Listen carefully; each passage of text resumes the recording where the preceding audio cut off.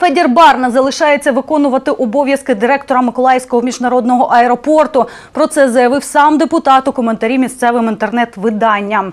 За словами очільника литовища, документ про продовження з ним контракту ще на 6 місяців повинен з'явитися на сайті Миколаївської облдержадміністрації вже сьогодні. Таким чином, пан Барна керуватиме аеропортом як мінімум до 23 квітня 2019 року. Нагадаємо, призначення нового виконуючого обов'язки директора відбулося 19 квітня після самогубства його попередника, льотчика-героя Владислава Волошина. Втім, народний депутат України Вадим Підберезняк заявив, що кандидатура Федора Барни і тоді не була, і досі не погоджена з Укравіорухом, бо депутат обласної ради не відповідає кваліфікаційним вимогам. Но, к огромному сожалению, есть квалификационные требования к профессии директор аэропорта.